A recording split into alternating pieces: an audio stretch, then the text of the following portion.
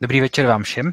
Já vás vítám na streamu Skautského institutu v Olomouci u dalšího rozhovoru s takovou, řekněme, cestovatelskou tematikou, protože toho cestování si poslední dobou moc užít nemůžem. A tak si myslím, že to bereme jako takové osvěžení nebo trošku jako motivaci a e, můžeme se těšit, že, že v budoucnu, že v budoucnu někam, někam zase vyjedeme. E, ten poslední rozhovor byl s Petrou Čuřínovou před pár měsíci a bylo to o Dánsku. Bylo to o tom, jaký jsou dánové, jaké je dánské jídlo, jaké je studium v Dánsku a tak dále. Dnes, ať to trošku e, zpestříme, tak se posuneme nějakých 2900 kilometrů jihozápadně konkrétně do Španělska, konkrétně do Andaluzie, konkrétně do Granady.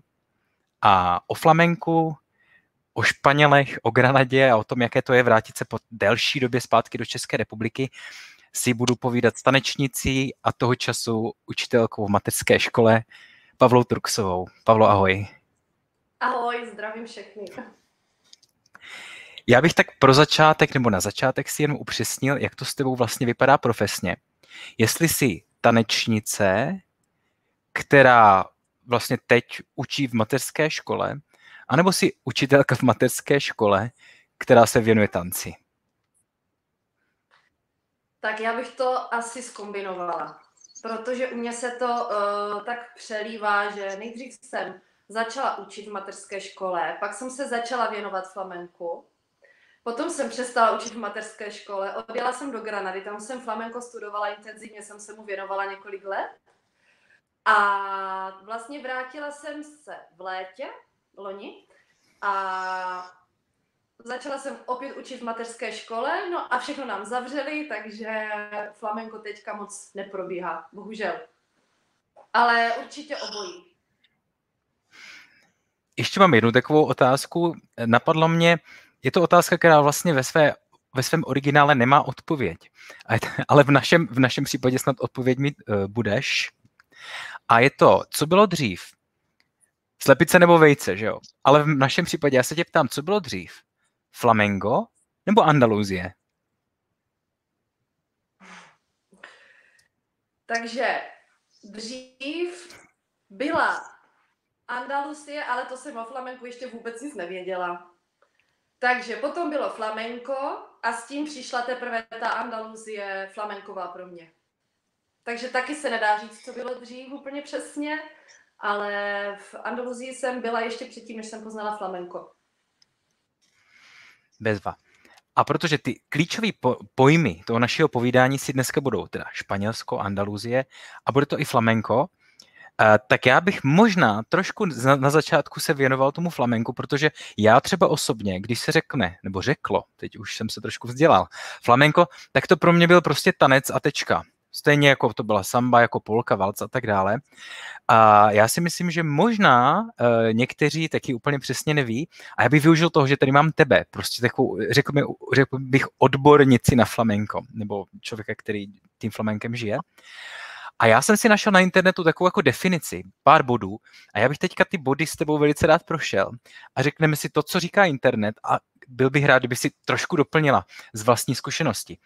Tak za prvé, já jsem teda našel, že flamenko je hudebně taneční kultura a to už bylo pro mě jako první překvapení, protože to teda v tom případě asi není jenom tanec. No to určitě není jenom tanec. Flamenko uh, je hudebně pohybový žánr. Eh, skládá se z tělesa tanečního a hudebního. A to, že to je kulturní záležitost, je také hlavně proto, že je to um, andaluský folklor, který byl v roce 2010, myslím, zapsán na kulturní dědictví uh, do UNESCO.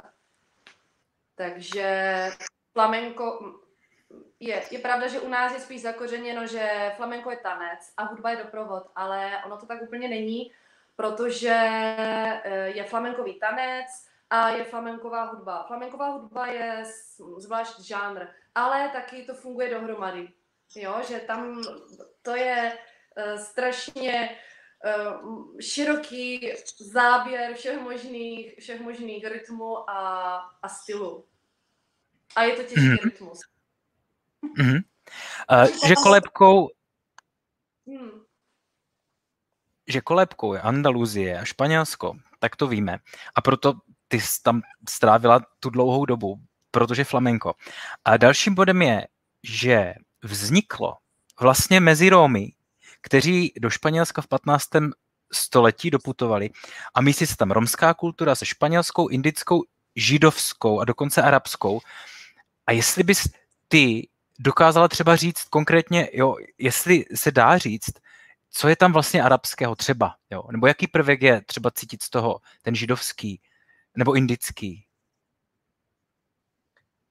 Uh, tak jelikož ta fúze probíhala po staletí, a já se třeba úplně na židovské tance eh, nespecializuji, takže mm, tady do toho úplně bych nechtěla uh, zacházet moc do detailu, ale je určitě poznat, že tam jsou arabské vlivy, indické vlivy, protože pokud člověk trošičku něco málo ví o historii Španělska, tak ví, že tam se ty národy a kultury neustále přelívaly a mísily a tak je to v podstatě dodnes. Takže Eh, to, to je, je a bylo nevyhnutelné, aby se tady tyhle prvky smíchaly.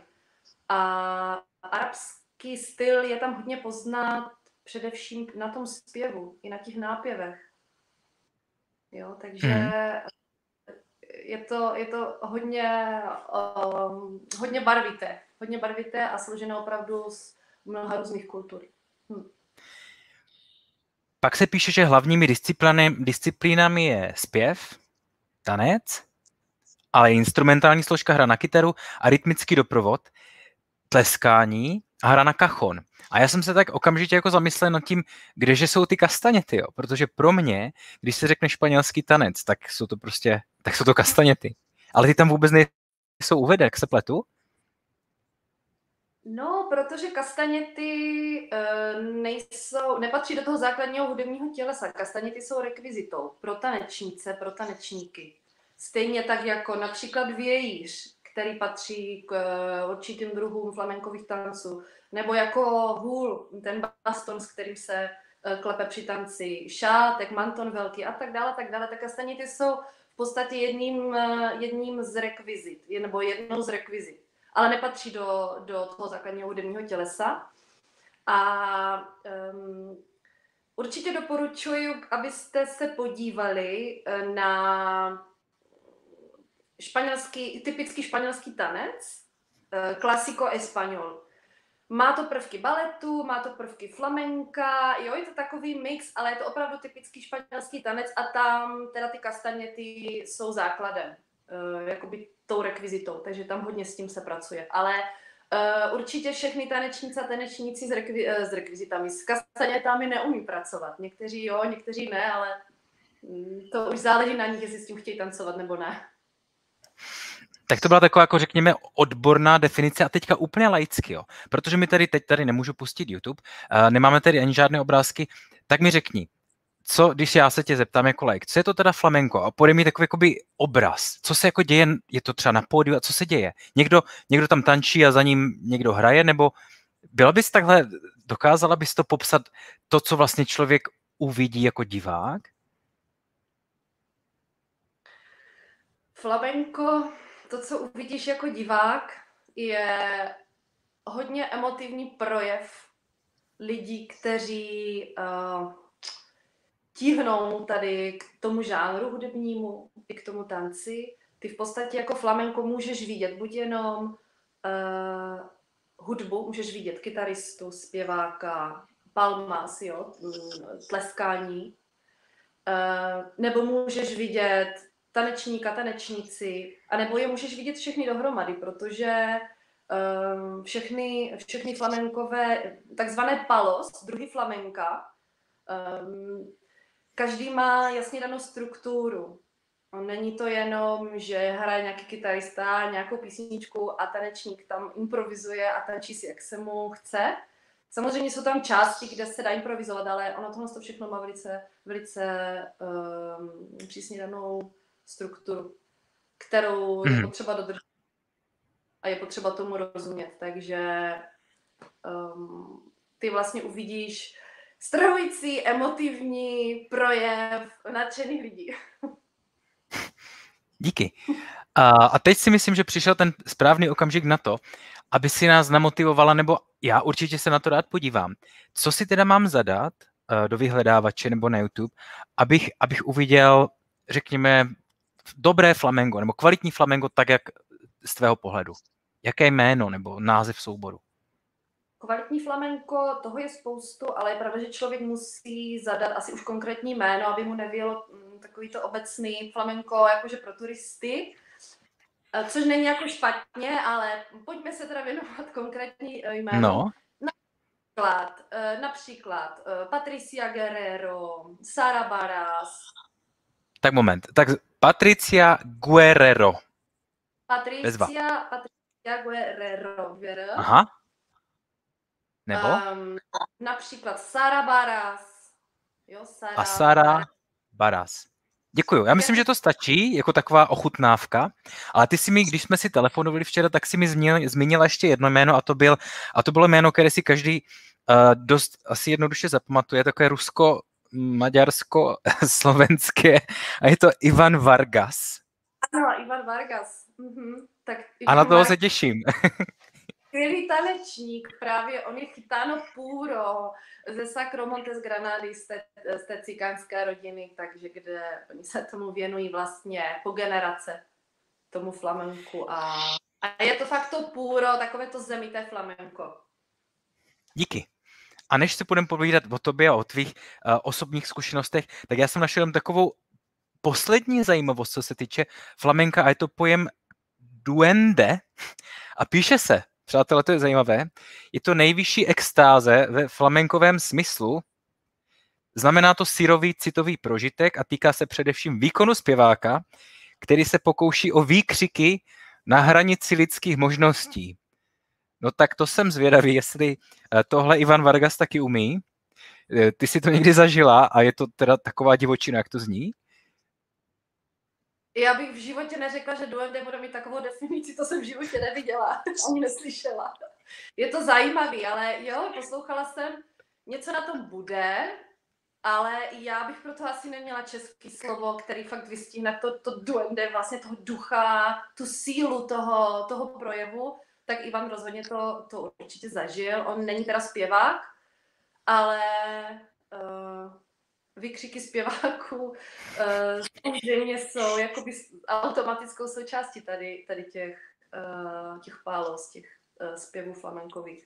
Jo, to, to, to vycvičení těch emocí. Pro nás mnohdy to může znít a vypadat, třeba například pro českého diváka, který to nikdy neviděl a nezná to, tak jako ty reakce už jsem viděla hodněkrát, jak se lidi jako lekli nebo se začali chechtat ale ono to má velkou sílu a velkou loupku a opravdu oni do toho dávají všechny emoce a celé svoje srdce a je to, je to poznat a fakt to z nich vyzařuje na tom pódiu. Tak teď se dostáváme k tobě. Eh, jak je to s Flamenkem a Pavlou Truxovou? To mi řekni, jak se s tomu vlastně dostala? Kdy? A co tě na tom tak fascinovalo, že jsi byla jako schopná normálně opustit tady svůj běžný život a normálně vystěhovat se na x let uh, za flamenkem do Andaluzie? Uh, já si rok vůbec nepamatuju, který to byl. Ani vůbec nevím, kolik mi bylo let. Takže možná je to tak 12 let zpátky, když jsem eh, v Olomouci, moje kamarádka taky ze scoutu, mi říkala, pojď, je tady flamenko, budeme to zkusit, budeme se podívat na první hodinu a, a uvidíme. Takže on, já jsem o tom nic nevěděla do té doby vůbec. Flamenko pro mě eh, byla tehdy španělská vesnice. A eh, tak jsme tam šli se podívat a ona tam vlastně už potom nikdy nepřišla, já jsem mu to zůstala. A eh, vlastně v podstatě s postupem času jsem se tomu začala věnovat uh, více do hloubky, uh, jezdit na semináře, do Granady přímo. A pak jsem si uvědomila, že pokud to chci poznat úplně do hloubky a víceméně to žít, tak tam musím žít. Fyzicky tam musím být, protože uh, mimo, mimo tu kolébku toho flamenka to vždycky bude víceméně na povrchu. Jo? Dobré flamenko, kvalitní, skvělé flamenko, ale pokud tomu člověk skutečně chce porozumět, tak uh, musí žít ten život, musí poznat tu kulturu, musí znát jazyk, musí poznat mentalitu, jak lidi žijí, jak tam, jak tam přemýšlí, vůbec uh, všechno. Jo? To, je, to je všechno se vším, protože to flamenko není vytržené z kontextu uh, jenom nějaká choreografie, ale to přímo souvisí s, s jejich stylem života, s počasím, s krajinou, um, s osobnostmi, s básníky, takže uh, třeba mnoho těch flamenkových písní používá letry nebo uh, letry, slova od Federica Garcia Lorky. Takže pokud, pokud chcete více do toho se ponořit, tak je opravdu potřeba si to zažít.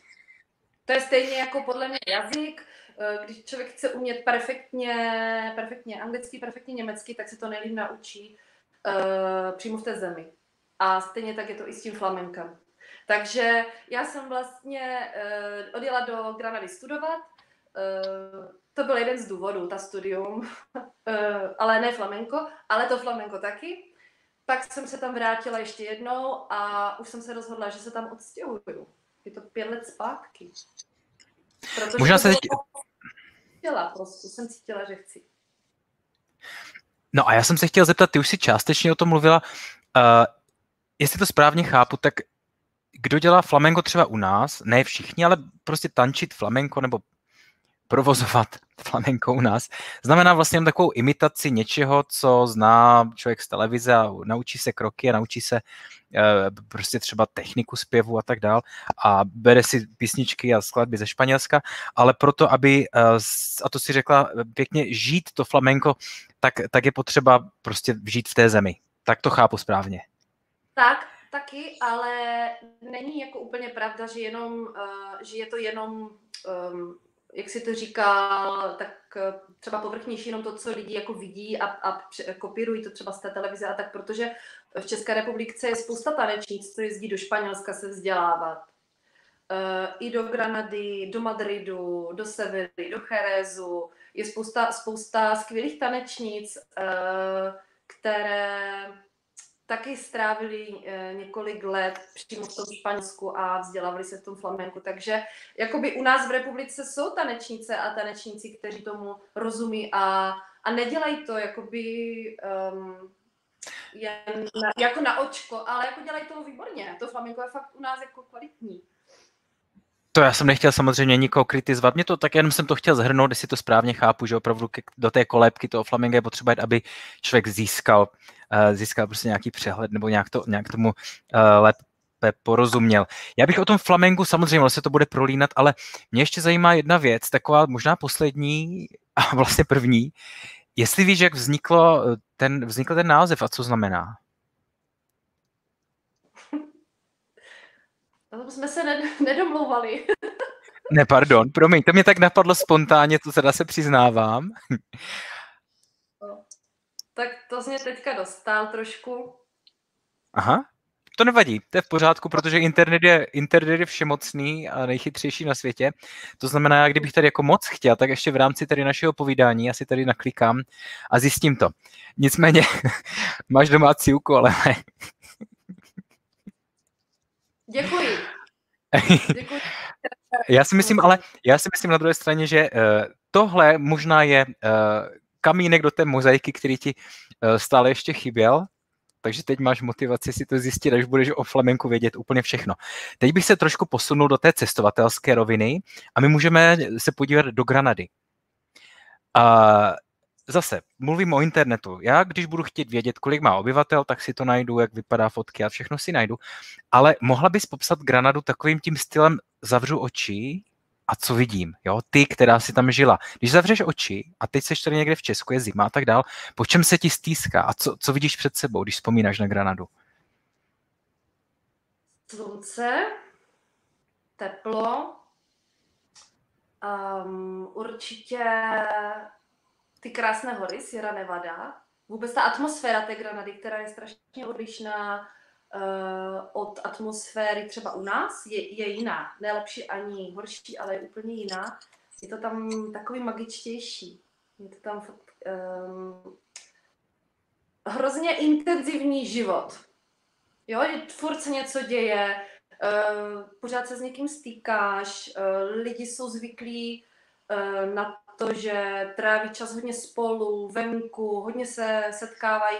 Samozřejmě uh, nemám na mysli úplně teďka aktuální situaci, kdy jsou omezení asi snad teda úplně všude, ale když tohle pominu, tak tady tohle, tohle mi chybí asi hlavně. Ta, ta otevřenost a laskavost těch, těch lidí. Tak a když jsi přijela do té Granady, řekněme už nastálo nebo na nějakou delší dobu, tak si tam, protože už si tam asi jako studovala, tak to bylo tak, že si přijela, zapadla si, měl si tam si svoje kamarády a práci sjednanou a tak dál. Nebo, nebo to bylo těžké změnit, změnit to prostředí?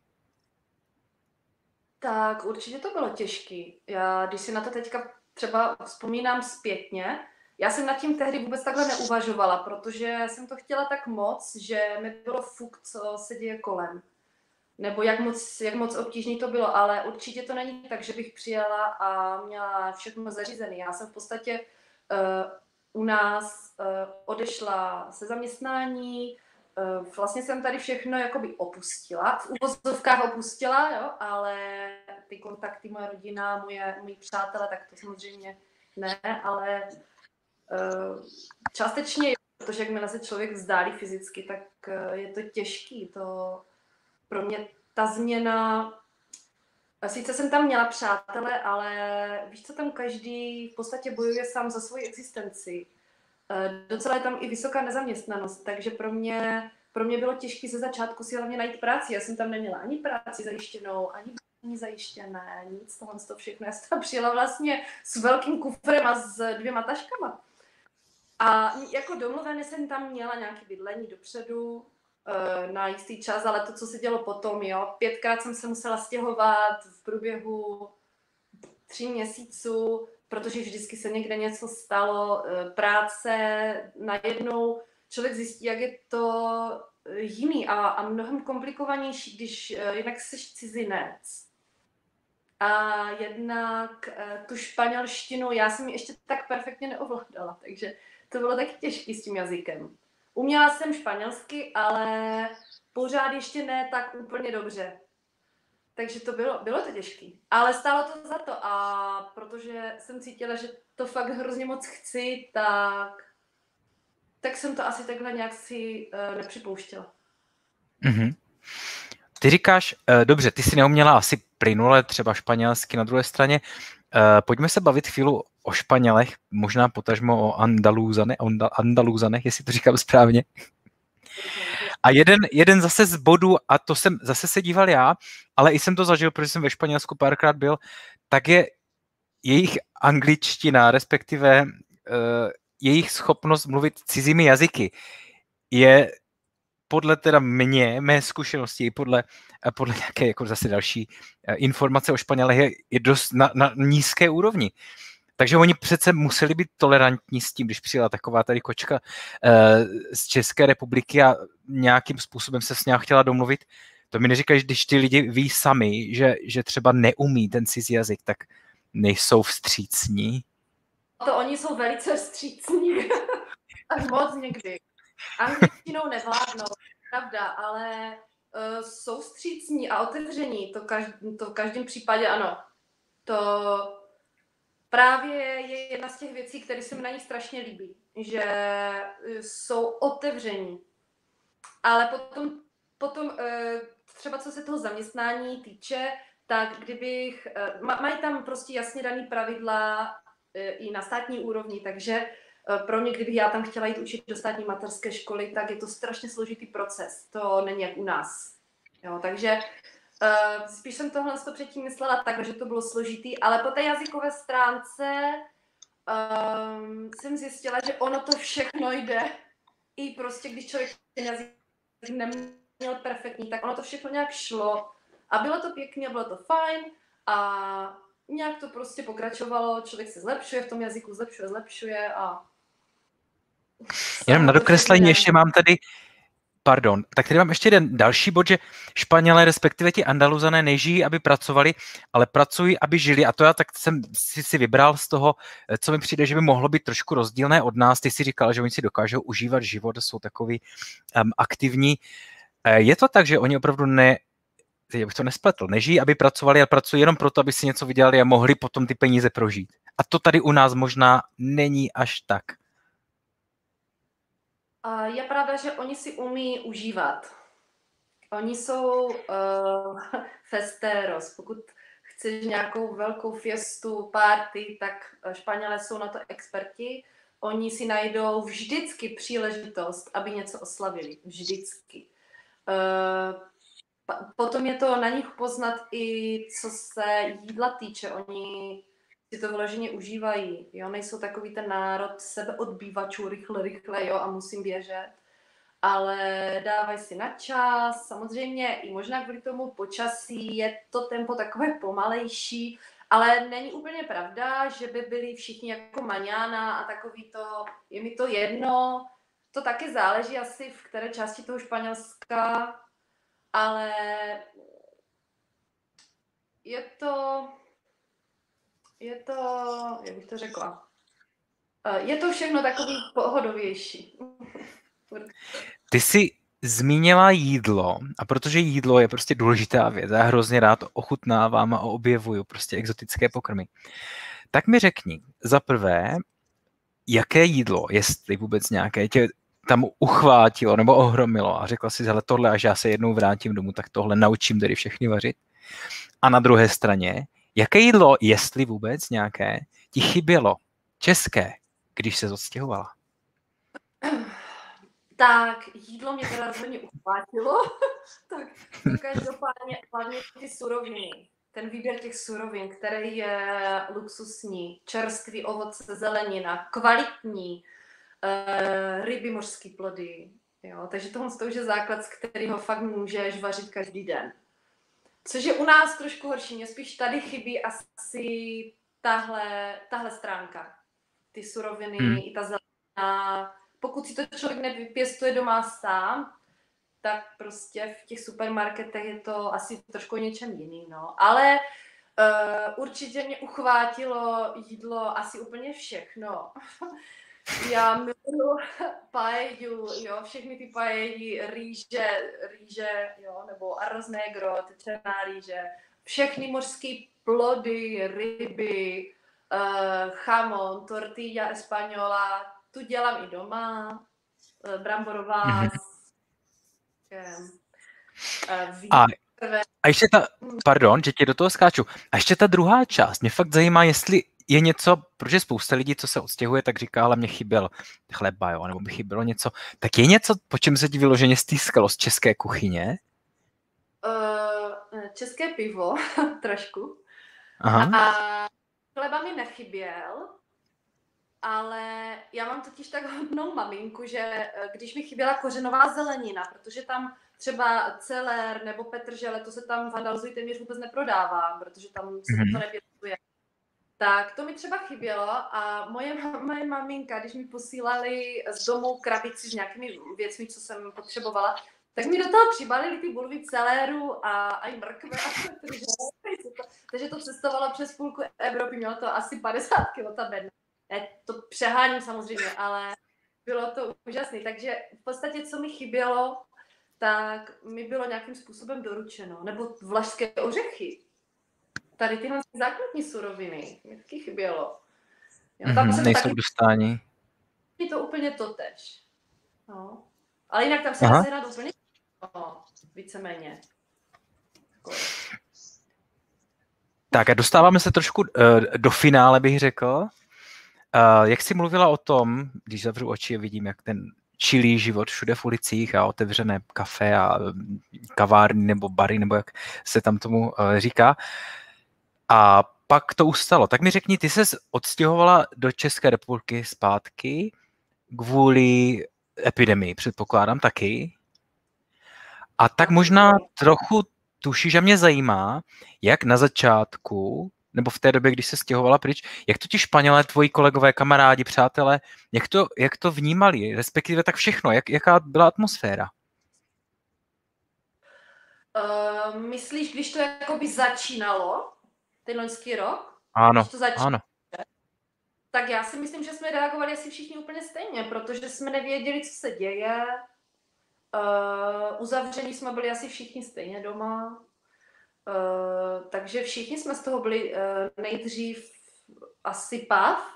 A s postupem času uh, já si myslím, že už jsme z toho spíš takový unavení trošku z těch omezení a tady z těch, těch různých nařízení. Ale ve Španělsku uh, oni například mají všechno otevřené. Obchody.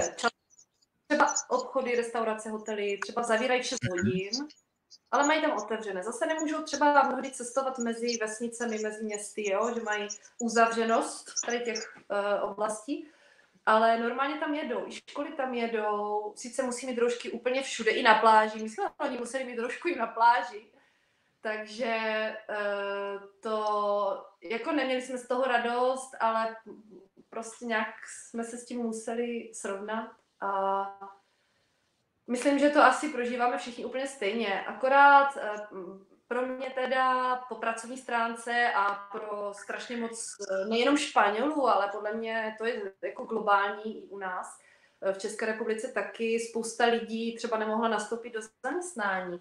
Eh, protože já jsem pracovala eh, ten poslední rok, nebo poslední dva roky respektive, jsem pracovala v hostelérii, v, v, v restauratérství, v hotelu. Po hostinství možná? Aha, v hostinství. Mm-hmm. Jsem pracovala v jednom, eh, v jednom velkém hotelu. No a jelikož v Andaluzii hlavním zdrojem příjmu je turismus a tím, jak všechno uzavřeli, tak turisti nebyli, takže všechny tady tyhle ty podniky se museli uzavřít. A já jsem věděla, že tu dobu, nebo v ten loňský rok, že uh, pro mě tam to bude těžký sehnat nějakou jinou práci. Jo? To, já jsem si nemalovala nějaký uh, vzdušní zámky o tom, že to bude všechno super, mm-hmm. protože jsem myslela, že uh, ano, ono, tam bylo více okolností, proč já jsem se vrátila zpátky, ale ta situace s tou epidemií byla takový spouštěč, jako jo, teď prostě jít domů. Tak mm-hmm. jsem jela domů. Tak, tak si tady a teď mi řekni, to je, teda, to je teda z extrému do extrému, jo? protože ty si byla asi žila tím flamenkem docela dost a teď mi řekni, teď si bez, bez toho úplně ne, nějakou dobu určitě. Ano. Jsou nějaké tréninky, nebo je něco, neděje se přece vůbec nic, ale abyste třeba něco nahrávali online, nebo od té doby, co jsem se vrátila, tak vlastně ne. Já jsem přijela v, v srpnu a za dva týdny, co jsem se vrátila do Olomouce, tak jsem se stěhovala hned do Prahy kvůli práci.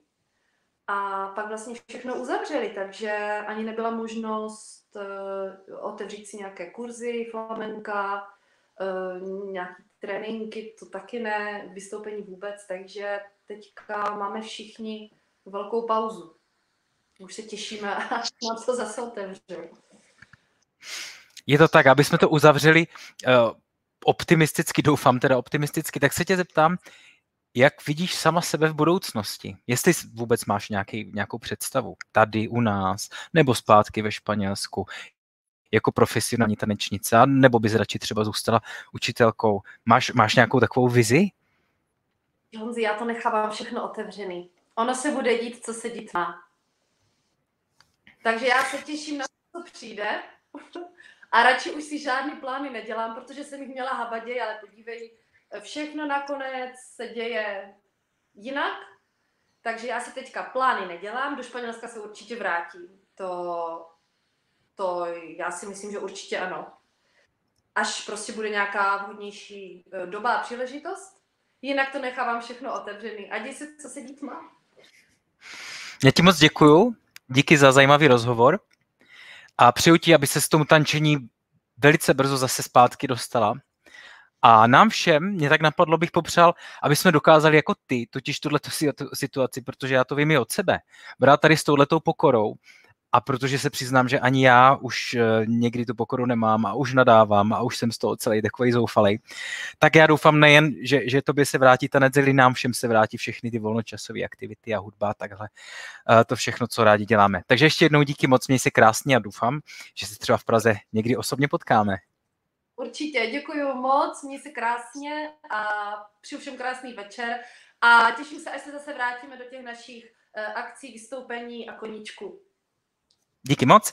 Vám všem uh, taky přeju pěkný večer, loučím se s vámi a pokud všechno dobře dopadne, nebo dopadne tak, jak má, tak si myslím, že za pár týdnů bychom se mohli vidět opět a tentokrát se posuneme dalších a teďka nepřeháním zhruba 9000 kilometrů dále od Granady na jeho západ. Mějte se pěkně a ahoj.